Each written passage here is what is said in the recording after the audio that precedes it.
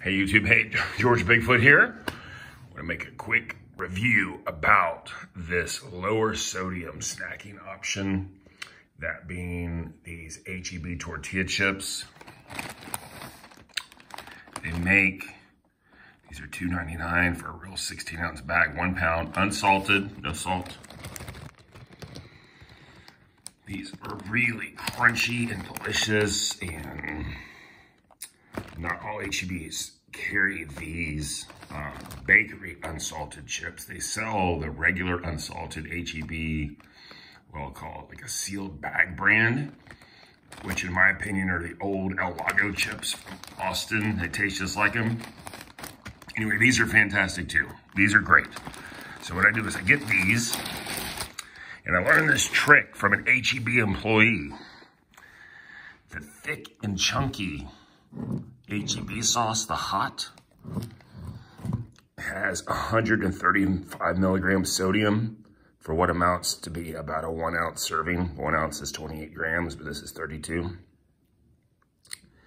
Their regular picante sauce is almost 250 um, for the sodium, which is in line with Pace Picante, which is 250 for a one ounce serving.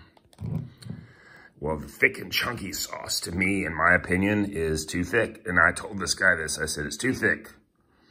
It's too thick for me. It tastes good, but it's too thick. And he said, well, he said, there's a lot of people who buy this and then they puree it in a Vitamix or in a KitchenAid blender.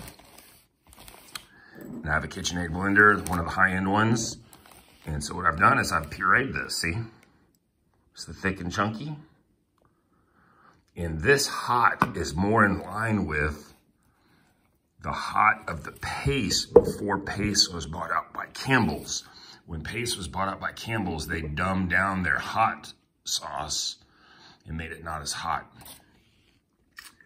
And the thick and chunky HEB is different in a flavor profile and texture than the thick and, rather than the Pace Picante Hot. And if you take this and blend it down and make it so it's thin, like you'd find like at a restaurant, it is incredible. I mean, incredible. And if you serve this at a party, people won't know where you got it from because no one sells this flavor profile thin like this. Anyway.